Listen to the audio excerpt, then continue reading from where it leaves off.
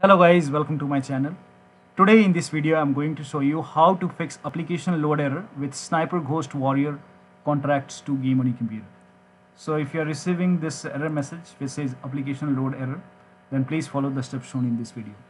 Now the first step is to allow the game exe file to your antivirus program.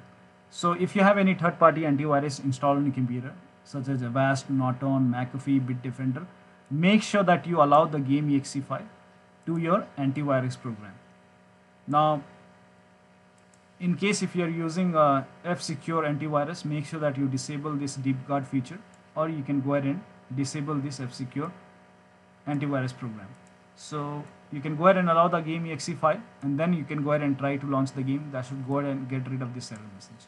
Now still you are facing the problem in case if you are using Windows security in that case you can go to the start menu then click on settings then click on update and security then click on windows security and then click on virus and threat protection and then scroll down and over here you can see manage ransomware protection click on it.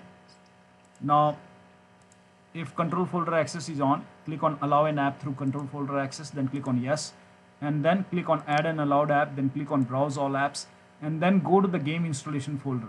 So wherever the game is installed open the steam folder and then open the steam apps then open the common folder. And from here you have to go ahead and open the game folder. So make sure that you open the sniper ghost game folder over here and select the sniper ghost exe file. So in my case i don't have it. In your case you will find it. Select the game exe file from here then click on open. Once the game is added over here you can go ahead and try to launch the game. Now in case still you are facing the problem in that case you can go ahead and disable antivirus program while playing the game so before you launch the game you can go ahead and disable your antivirus program.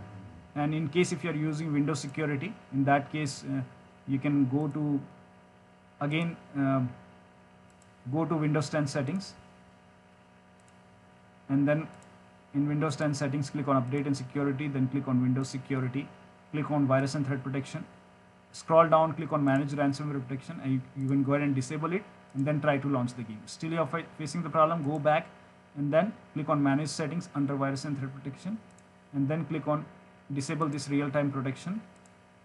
Before you launch the game until the time you are playing the game you can keep this disabled and after once you're done playing the game you can always enable this real-time protection and you can also enable control folder access. You can also enable this once you are done playing the game.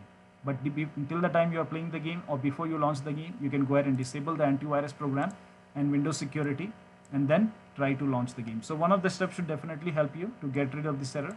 So that'll be all. Thank you so much for your time and please like this video and subscribe to my channel